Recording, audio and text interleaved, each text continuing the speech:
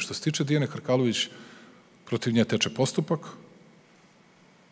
Ne znam o čemu sve govorite, pošto mi na Skaju imamo mnogo veće afere od toga i koji su ljudi tamo, tako da o tome sam govorio i pre dve i pre tri godine. I upravo zato danas na drugačiji način gledamo kako da postavljamo stvari, a ja ne želim da govorim ni dobro, ni loše o gospođi Hrkalović. Njen je tu sad posao da pred sudom pokaže i kako god sud bude odredio svoj stav, ja ću ga u svakom smislu poštovati.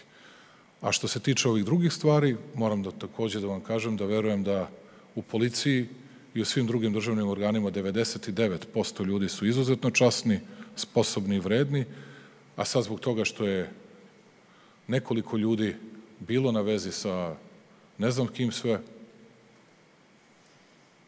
zato i postoje krivično-pravne sankcije, ili recimo za ovo što vam se dogodi u Priboju.